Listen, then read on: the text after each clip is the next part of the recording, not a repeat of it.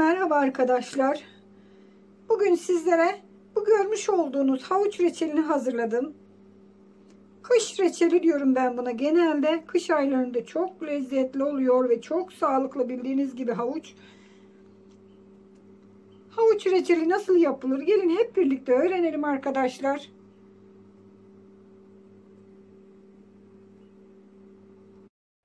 Evet arkadaşlar. Bugün havuç reçeli yapacağız. Burada benim 750 gram kadar havuçlarım var. Şimdi ilk olarak havuçlarımı güzelce kabuklarını soyacağım. Şöyle bu şekilde.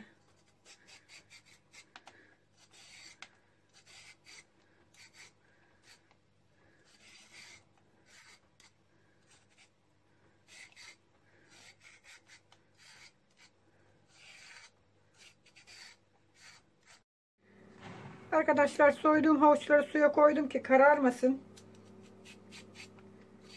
Soymaya devam ediyorum diğerlerinde.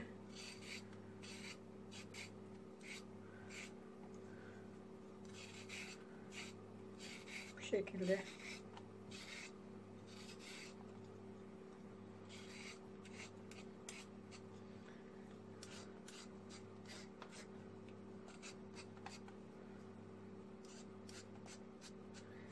İster bıçak ile ister bu şekilde soyabilirsiniz.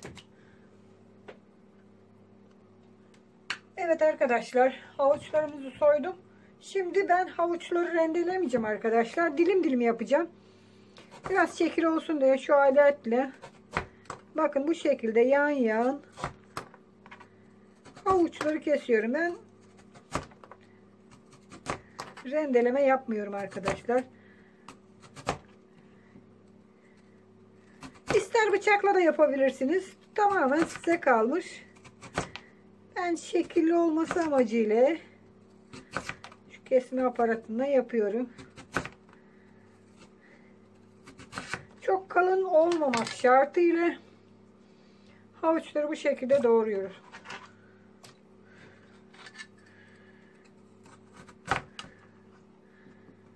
Herkes rendeliyor ama rendeleyemeyeceğim. Bu şekilde çok daha güzel oluyor. Çok daha lezzetli oluyor. Hem görüntü muhteşem.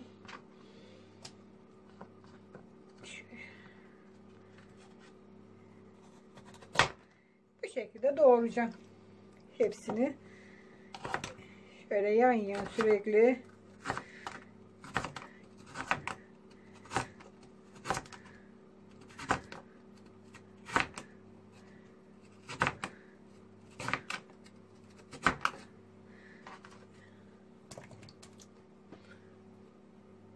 Evet, doğradım. Gördüğünüz gibi şekilli şekilli bakın bu şekilde doğradım havuçları. Tencereme koyuyorum. Evet, üzerine su koyacağız arkadaşlar.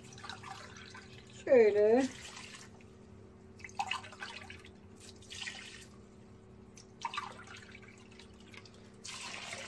Bakın toplamda 3 su bardağı su koydum. Yani üzerine çıkacak kadar su koydum. Şimdi ocağa koyacağım. Havuçlar yumuşayana kadar ocakta kaynatacağım. Şekerini ilave etmiyorum. Şekerini daha sonra ilave edeceğim. Kaynamak üzere ocağa götürüyorum.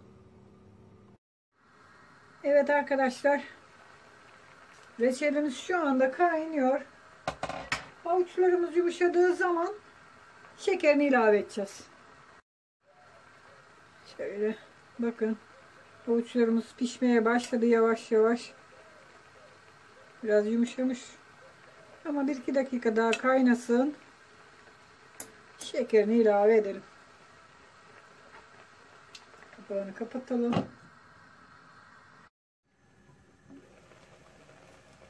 Evet.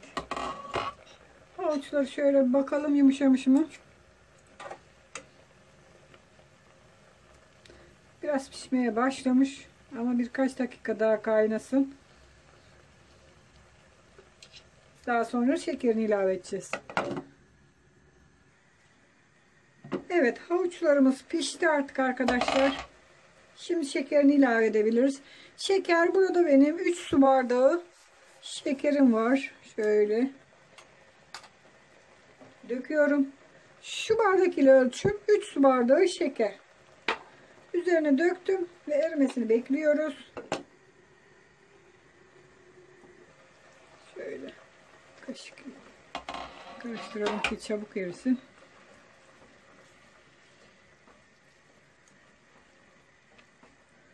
Üç bardak şeker yeterli olacaktır.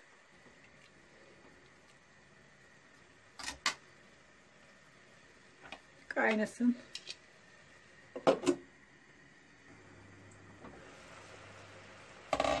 Reçelimin içine bir miktar limon kabuğu şöyle doğradım. Sade sarı yerini, limonun acı yerini koymuyorum. Beyaz kısımdan asla katmıyorum. Bu da aroma vermesi için isterseniz karanfil, tarçın ilave edebilirsiniz. Ben limon kabuğu koydum. Bakın koyulmaya başladı bile. Reçelimiz olmaya başladı bile. Limon suyunu da verdikten sonra zaten reçelimiz hazır olmuş olacak. Çok güzel görünüyor. Şöyle arada köpüklerini alalım. Fazla köpük bile olmadı.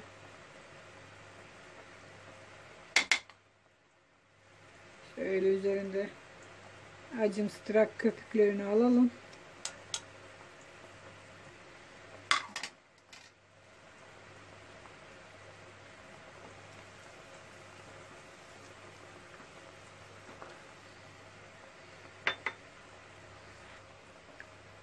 Evet reçelimiz oluyor.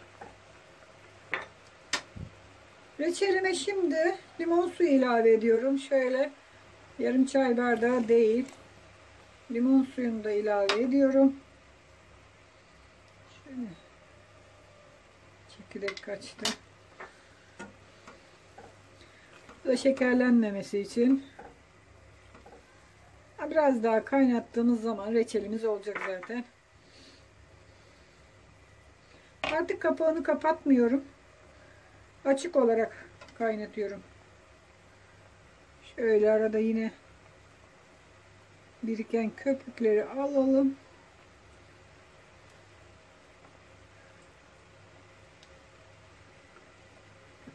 Bu şekilde.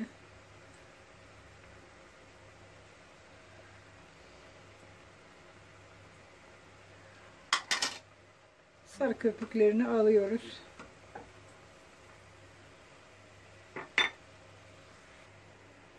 Reçelime şöyle bir kaşık çay kaşığına tereyağı atıyorum ki parlaklık versin.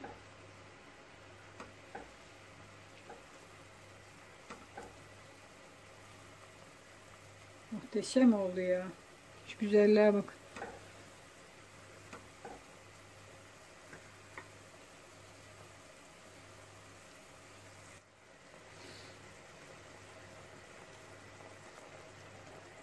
Bayağı bir koyuldu arkadaşlar reçelimiz. Bakın. Havuçlar muhteşem. Lokum gibi oldular. Kıvamını aldı. Şöyle gösterelim kıvamında. Şöyle biraz koyun. Bakın. Koyu bir kıvam var arkadaşlar. Bu soğuduğu zaman daha da koyulacak. Şu anda sıcak. Evet reçelimiz arkadaşlar 45 dakika gibi bir zamanda oldu. 15 dakika havuçları yumuşatmak için kaynattık. Daha sonra şerbet e, şekerini ilave ettik. Şekeriyle birlikte de bir yarım saat kaynadı. Bakın koyu bir kıvamı oldu. Artık havuçlar şerbeti içine aldı. Bakın. İçine aldı şerbeti. Reçel kıvamına geldi. Artık ocağımızı kapatabiliriz. Ocağımızı kapatıyoruz. Evet ocağımızı kapattık. Şer reçelimiz şu anda hazır arkadaşlar. Çok sıcak. Birazdan servis tabağına sizlere göstermek için koyacağım.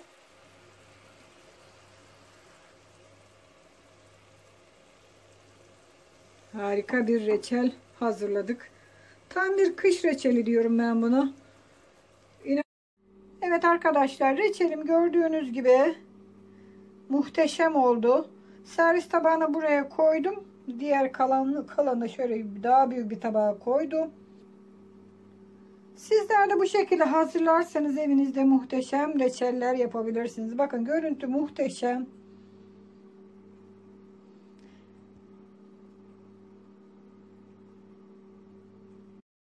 Evet arkadaşlar. Tariflerimi beğeniyorsanız beğen tuşuna basın. Kanalıma abone olmadıysanız abone olun. Sosyal medyada tariflerimi paylaşın arkadaşlar. Yeni tariflerde görüşmek üzere. Hoşçakalın. Afiyetle kalın.